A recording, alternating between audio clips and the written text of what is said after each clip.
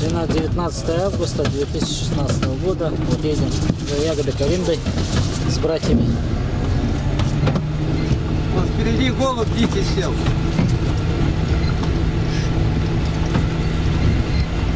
Солнышки. Видно, что наливается уже. Потом это, когда проедем, Миш, зеркало поправишь. А, да, сейчас пока не надо. Голуби. Птичек. Больше двух метров под солнцем. А вот дожди еще такие. Все хиленькое было. Таких вообще лесов я еще, наверное, не видел. Это на 10 лет вперед соки из земли высосало. После подсолнечника поле опустошенное.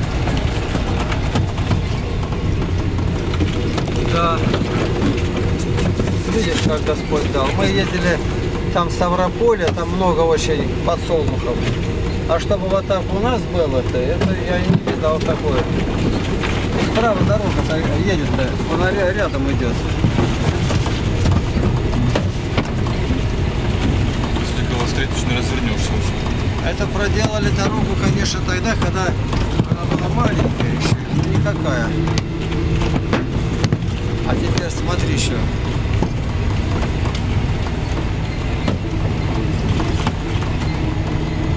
Вот они ходят на дорогу. Надо будет по той дороге ехать, наверное. Ну, в воскресенье ехали, там грязь была. Поэтому я поехал здесь. Лужи глубокие до сих пор даже еще не высохли. Можно попробовать. Может высохло.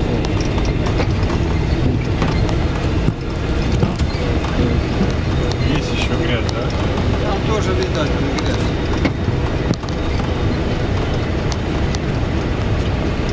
Интересно. На расстоянии двух метров вторая дорога.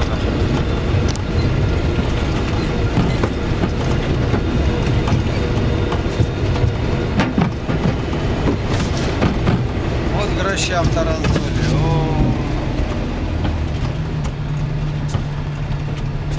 О, Уже отцветает.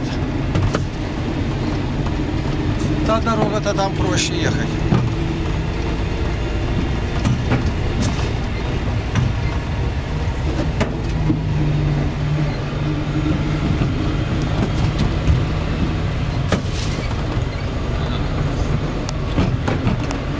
Такие головки здоровые. Вот еще когда гречка растет и подсолнух, это прям готовая каша с маслом. На такой земле люди живут, вот, трушеньки сельского хозяйства и бедствуют. Ни помощи нет, ничего. Горючая все время цена поднимается. О, Грязь, там, да, там? Грязь, ага. там вода. А сельхозпродукция стоит на месте фактически. Нигде такого нет, чтобы вот 13% со всех брали. Которые нефтепромышленные магнаты, там 70 или больше процентов берут с них. Чтобы другим как-то помочь. А здесь нет. За чертой бедности человек помирает, да еще и глядят. По их нормам жить, вот Роспотребнадзор нынче. Как я могу жить по этим нормам вашим, когда у меня нет ничего, вы отняли у меня.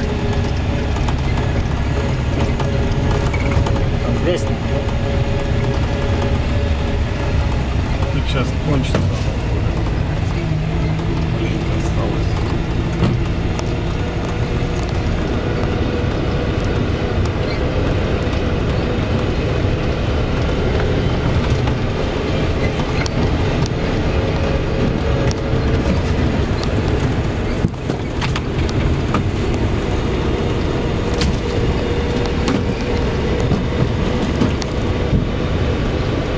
Стучится, Смотри, что у тебя всегда было заправлено. просится к нам. О, О, ястреб. Миш, поправишь?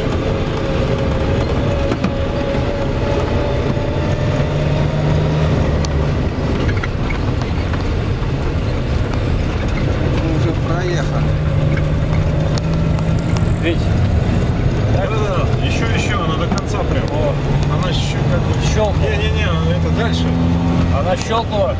Что-то это сбито зеркало, я не вижу. А, ну надо направлять зеркало. Оно все Понял. до щелчка. Значит, само зеркало надо направлять. Здесь